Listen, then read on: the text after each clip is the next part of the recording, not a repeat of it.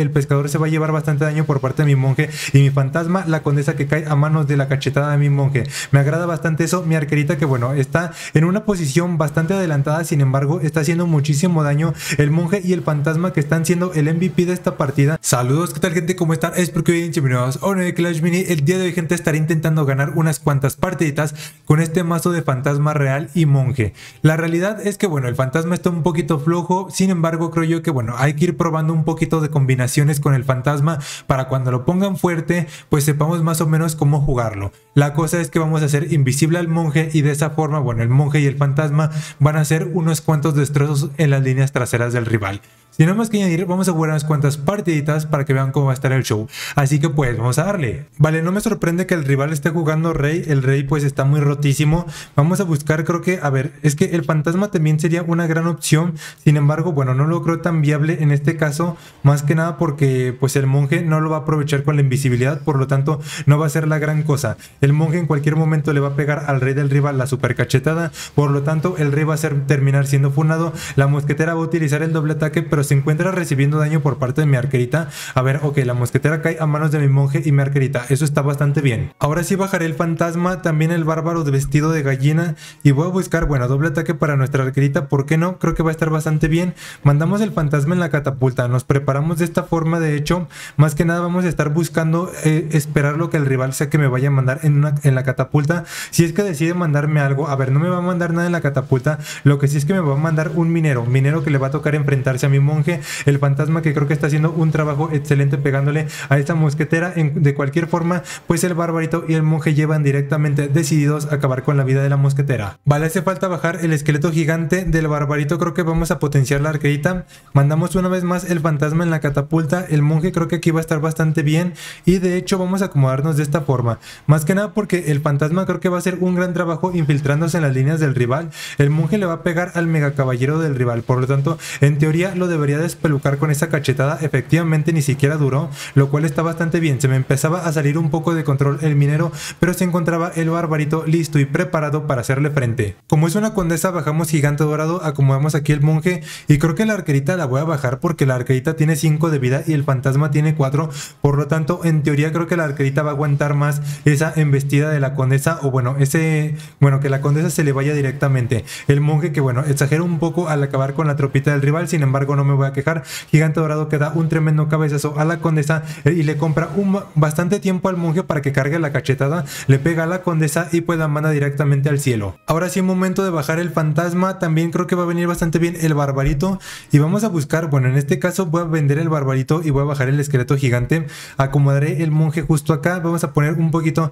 más atrás nuestro queridísimo fantasma cubriendo la arquerita y pues voy a esperar un poco que la arquerita no vaya a recibir daño por alguna tropa importante del rival que yo lo siento por ese espadachín del rival, porque le va a terminar pegando a un esqueleto gigante y bueno, no va a ser lo más óptimo, va a explotar el esqueleto, el monje que se las está viendo duras al, intentar enfrentarse a tanto tanque que le acaba de poner enfrente al rival y va a ser rondita para él. Vale, vayamos haciendo invisible, creo que al monje nos vamos a acomodar justo por acá, fantasma aquí así, vamos a darle, creo que vamos a bajar el barbarito y doble ataque a la arquerita, nos vamos a acomodar hasta acá atrás, de hecho voy a poner el gigante dorado un poquito trasito, más que nada para aprovechar 100% la potenciación de ese cubito, el, el, esqueleto gigante que va a llamar la atención de las tropas. A ver, se acaban de llevar al barbarito y también al gigante dorado. No creo que sea lo más inteligente por parte del rival. Mi monje va a cargar la super cachetada contra el gigante dorado. Eso está bastante bien. El fantasma se hizo invisible, pero como que a la condesa le valió un poquito que el fantasma tenga esa habilidad porque simplemente utilizó. A ver, creo que está un poco bugueado eso. No es normal que, bueno, el fantasma se haga invisible y la condesa utilice la habilidad contra el fantasma. Voy a buscar en este caso potenciar la arquerita. Bueno, a ver, nada que me sale la arquerita.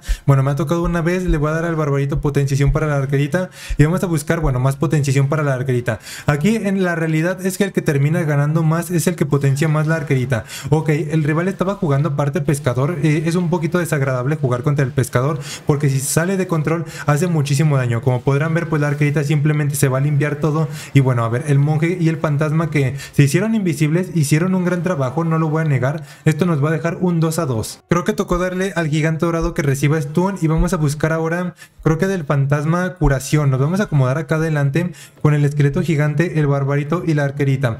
A ver, hay que tener mucho cuidado porque, bueno, hay un pescador que me podría desgraciar toda la existencia. Creo que lo voy a esquivar. Efectivamente lo termino esquivando. Me agrada bastante. El pescador se va a llevar bastante daño por parte de mi monje. Y mi fantasma, la condesa que cae a manos de la cachetada de mi monje. Me agrada bastante eso. Mi arquerita que, bueno, está en una posición bastante adelantada. Sin embargo, está haciendo muchísimo daño. El monje y el fantasma que están siendo el MVP de esta partida. Porque la verdad es que hicieron un gran trabajo controlando ese pescador y condesa. Vaya sorpresa, es un rey bárbaro. No me sorprende para nada. Vamos a acomodar creo que el gigante dorado justo acá. Y vamos a mandar el fantasma directamente hacia la retaguardia de nuestro rival. Y el monje lo va a dejar un poquito adelante porque quiero que acabe lo antes posible contra con la vida del rey del rival. Bueno, a ver, primero que nada es importante acabar con ese barbarito porque si se me saliese de control pues yo estaría en problemas. El fantasma acaba con la vida del duende, eso está bastante bien. El monje en cualquier momento va a ayudar al fantasma a acabar con la vida de ese rey del rival. Efectivamente termina cayendo el rey del rival. Tocó bajar la arquerita también creo que va a venir bastante bien el esqueleto gigante.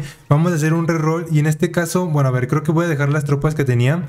De hecho, voy a vender el esqueleto gigante y voy a darle doble ataque a la arquerita y bajamos el barbarito. Ponemos el monje justo acá y el fantasma creo que está bastante bien en la catapulta, está haciendo un trabajo bastante bueno. El problema es que le va a tocar enfrentarse a un barbarito y el barbarito, bueno, se va a sobrepasar con el pobre de mi fantasma. Monje que le pega bastante duro a ese rey del rival, me agrada bastante. El monje que va a empezar a enfrentarse a la arquerita y al duende con la lanza. Quiero creer que mi monje no va a quedar en ridículo y va a acabar con la vida del duende. Miren nada más que bueno es mi monje en este caso vamos a buscar el fantasma con su invisibilidad. Bueno, no me ha tocado. Vaya, es el combo que necesito y no toca. Bueno, a ver, la arquerita que la vamos a poner justo mm, potenciada por el... Creo que va a venir bastante bien potenciarla por el barbarito. Y pues, de hecho vamos a potenciar también el monje por el barbarito, pues para sacarle jugo. A ver, lo más... Ok, esquivo la lanza y la bola del bolero. Eso me agrada bastante. La arquerita que va a acabar con la vida tanto del duende con la lanza como de la arquerita del rival. Eso me agrada, pero sí muchísimo. Mi monje que en cualquier momento le va a dar una super cachetada al rey del rival,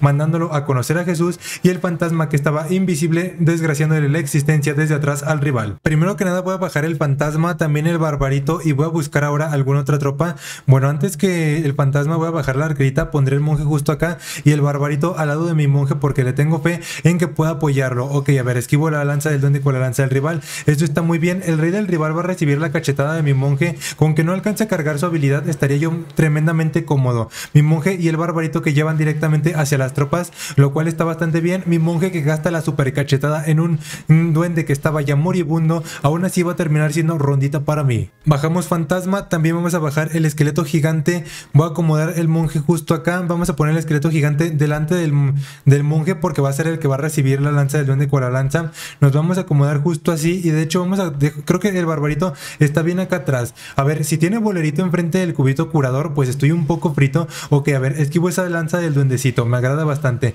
Mi monje que va a gastar la cachetada en el esqueleto gigante, lo cual no es nada grato, no es cierto, va a terminar gastando la cachetada en el rey. Pero qué buena onda por parte de mi monje. Barbarito que va aleteando directamente hacia la batalla para acabar con la vida de ese duendecito. Una vez más, el monje gasta la vida en un duende moribundo, la arquerita que va a terminar siendo mandada con Jesús con su amigo el duende. Vayámonos preparando para ser invisible nuestro monje. Vamos a comer fantasma aquí.